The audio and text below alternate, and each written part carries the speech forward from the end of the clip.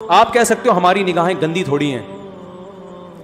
भाई, जब भी दुनिया में कोई किसी को देखता है तो ज़रूरी नहीं कि उसकी निगाहें क्या हो।